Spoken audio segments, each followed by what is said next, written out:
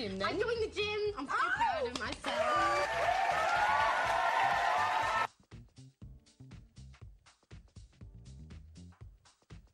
There We, we do, we could do fitness training today. We'll, we'll run jog, jog on the spot for a minute and then see if it changes. Very good idea. There you go, guys. If All they'd see is from our boobs to our bellies. They'd have a great time. I've got a at whole new show that would be. you want to get your Texas into the show Fitness right Friday. now? Fitness Friday.